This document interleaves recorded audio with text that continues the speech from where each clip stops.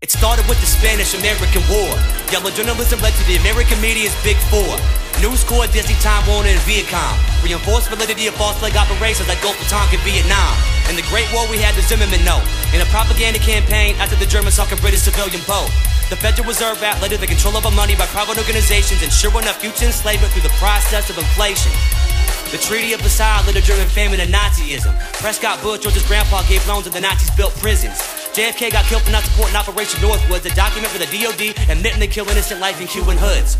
In the 80s, the CIA funded the dictatorship in Nicaragua so they could sell the coke and piss on the ruins of Managua.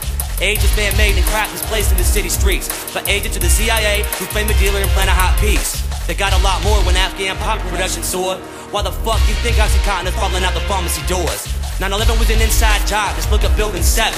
How the fuck you gonna tell me that shit wasn't demolition? The bailout, no way, wasn't so great for people that had no pay. Yo, fate was your home got foreclosed by the men in the state. Polluting the earth and spraying chemtrails with no regard to externalities. Corporations choose how much they pollute. Now that's a common tragedy. The NSA tracks the web activity of phone calls, violating your Fourth Amendment right to privacy in your home, y'all. Monsanto spreads patents, and seizes the local farms and sues them. The farmer can't afford the court case, so Monsanto forces them to use them.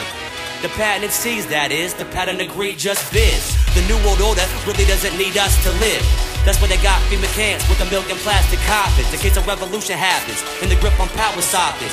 Rex 84 was FEMA's blueprint for martial law, no constitution. There's no solution but to fight back against the Masonic illusion.